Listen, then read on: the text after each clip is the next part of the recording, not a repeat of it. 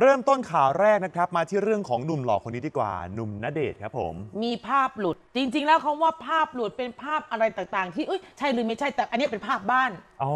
ภาพหลุดภาพบ้านของณเดชน์ก็เลยมีคนมองว่าเอ๊ะนี่หรือใช่เรือนหอที่ รอสร้างเพื่อสร้างเสร็จเพื่อยาย่าหรือเปล่า คือมันสืบเนื่องมาจากการที่เขานี่อดความคิดถึงไม่ได้ ต้องบินไปหายาย่าตอนที่ไปเที่ยวทะเลจำได้ไหมฮะก่อนหน้านี้ แล้วมีภาพบ้านหลุดมาอีกต้องถามนั่นแหละสรุปใช่เรือนหอที่กำลังซุ่มสร้างกันอยู่จริงไหมเชิญค่ะ เชิญครับ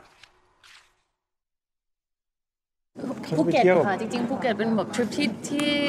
plan ไว้กับไปเที่ยวกับเพื่เพื่ออนน ๆใช่กับเพื่อนมหาลัย แล้วก็ได้แถมหนึ่งมาหนึ่งคนไปด้วย ภาพนั้นไม่ได้ไม่ไม่รู้ทำอะไรจริงๆไม่รู้จะเอามือไว้ไหน ก็เหมือนแบบเอาจริงๆคือแบบเจริขิงนๆๆคือไปกับเพื่อนแล้วว่าพี่แพรก็ไม่เพื่เคอยนไปเที่ยวถ่ายให้ไปเที่ยวกับเพื่อนย่าค่ะเขาก็เลยแบบว่าโอ้โหห่างกันจังเลยแบบว่าไอ้ใกล้กันหน่อยอะไรเอออะไรเงี้ยเราก็เลยไม่รู้จะทำอะไรก็เลยจิ้มไหลแค่นั้นเองกลายเป็น infinity ไปเลยใช่หอกันแล้วเราสองคนไม่มีไม่มียังไม่มียังไม่มีมันมีผมมาสร้างบ้านอ๋ออ่าสร้างบ้านให้แม่กับครอบครัวที่ที่ที่ขอนแก่นด้วยอะไรเลยไม่ได้สร้างสร้างที่กรุงเทพเลยนะแบบไหน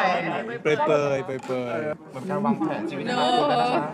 แต่จริง ๆ อนาคตทุกคนควรจะต้องเตรียมไว้ในระดับหนึ่งอยู่แล้วค่ะแต่ถ้าไป แต่ว่าพอแบบลึกซึ้งขนาดนี้เราก็ยังไม่ได้คุยกันอืมตอนนั้นไม่กดดันตอนนี้กดดันแล้ว เมื่อไหร่ก็เมื่อนั้น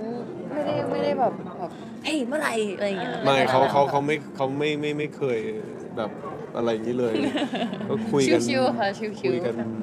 ชิวอามครับ